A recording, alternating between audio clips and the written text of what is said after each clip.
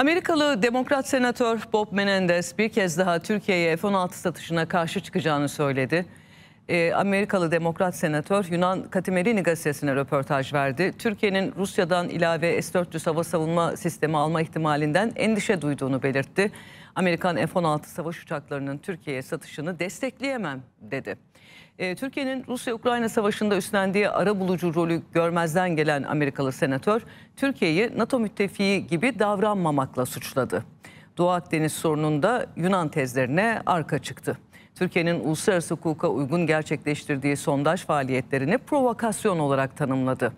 Ege adalarını silahlandıran Yunanistan'ı eleştirmek yerine destekledi. E, Bob Menendez Amerika ile Yunanistan arasında artan askeri işbirliğinden de övgüyle bahsetti. Dede Ağaç limanında yapabileceğimiz çok şey var dedi.